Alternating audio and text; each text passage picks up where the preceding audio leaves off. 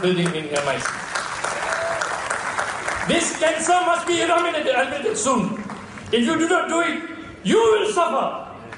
Your families will suffer. Because he is on a war path with government for good, no good reason at all. Are you going to allow him to act on our behalf in a manner that is so stupid?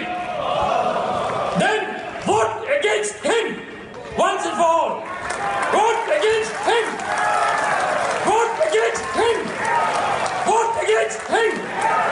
Thank you very much.